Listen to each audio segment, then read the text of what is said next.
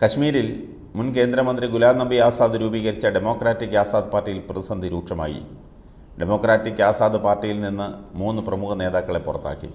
മുൻ ഉപമുഖ്യമന്ത്രി താരാചന്ദ് മുൻ മന്ത്രി ഡോക്ടർ മനോഹർ ലാൽ മുൻ M L A Balwan Singh എന്നിവരെയാണ് പാർട്ടി വിരുദ്ധ പ്രവർത്തനങ്ങളുടെ പേരിൽ പുറത്താക്കിയത്. താരാചന്ദും അനുയായികളും കോൺഗ്രസിൽ ചേരും.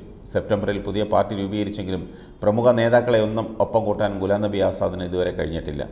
ഇതോടെ ഗുലാം നബി ആസാദ് വലിയ പ്രതിസന്ധിയിലാണ്. കശ്മീർ രാഷ്ട്രീയത്തിൽ ഗുലാം നബി ആസാദിന്റെ പാർട്ടിക്ക് കാര്യമായൊന്നും ചെയ്യാൻ കഴിയുന്നില്ലെന്നതാണ് വസ്തുത. കോൺഗ്രസിനെതിരെ ഒരടിസ്ഥാനവുമില്ലാതെ ആരോപണങ്ങൾ ഉന്നയിക്കുകയാണ് ഗുലാം നബി ആസാദ് എന്ന് ജമ്മു കാശ്മീർ കോൺഗ്രസ് പ്രസിഡന്റ് മികാർ റസൂൽ ഉന്നയിച്ചിരുന്നു. താൻ ജമ്മു കാശ്മീർ മുഖ്യമന്ത്രിയായിരുന്ന കാലത്ത് ചില നേതാക്കൾക്ക് ഭീകരരുമായി ബന്ധമുണ്ടെന്ന് അന്നത്തെ പ്രധാനമന്ത്രി മൻമോഹൻ സിംഗിനെയും ആഭ്യന്തരമന്ത്രി ശിവരാജ് പാട്ടീലിനെയും അറിയിച്ചിരുന്നതായി ഗുലാം നബി ആസാദ് വെളിപ്പെടുത്തിയിരുന്നു. അതേസമയം ഈ വിവരം കേന്ദ്ര നേതാക്കളെ അറിയിക്കുന്നതിന് പകരം എന്തുകൊണ്ട് നടപടിയെടുത്തില്ല എന്ന് ഗുലാം നബി ആസാദ് വ്യക്തമാക്കണമെന്ന് വികാർ റസൂൽ ചോദിച്ചിരുന്നു.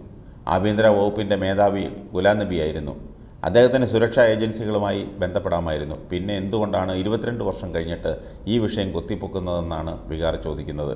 ഗുലാം നബി ഇക്കാര്യം പറഞ്ഞത് പ്രധാനമന്ത്രി നരേന്ദ്രമോദിയോടോ കേന്ദ്രമന്ത്രി അമിത്ഷായോടോ ആണോ?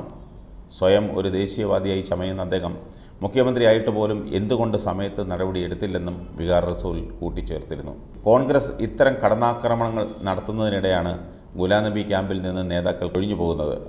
ഈ അവസരം പരമാവധി ഉപയോഗിക്കാനാണ് കോൺഗ്രസിന്റെ തീരുമാനം.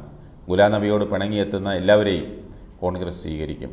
നേരത്തെ കാശ്മീർ കോൺഗ്രസ് അധ്യക്ഷൻ വികാർ റസൂൽ വാനിക്ക് ഭീകര സംഘടനയായ ലഷ്കർ ഇ തോയ്ബയുമായി ബന്ധമുണ്ടെന്ന് B J P I T വിഭാഗം മേധാവി അമിത് മാളവ്യ ആരോപിച്ചിരുന്നു. ചൈനയുമായും പാകിസ്ഥാനുമായും കോൺഗ്രസ്സിന് ഏതുതരം ബന്ധമാണ് ഉള്ളതെന്ന വിഷയത്തിൽ കൂടുതൽ വ്യക്തത വരുത്തേണ്ടതുണ്ടെന്നും അദ്ദേഹം പറഞ്ഞു. രാഹുൽ ഗാന്ധി ചൈനീസ് ഭരണത്തിന്റെ ഭാഷയാണ് സംസാരിക്കുന്നത്. ഇന്ത്യൻ സൈന്യത്തെ രാഹുൽ നിരന്തരം പരിഹസിക്കുകയാണെന്നും അമിത് മാളവിയ ട്വിറ്ററിൽ കുറിച്ചു.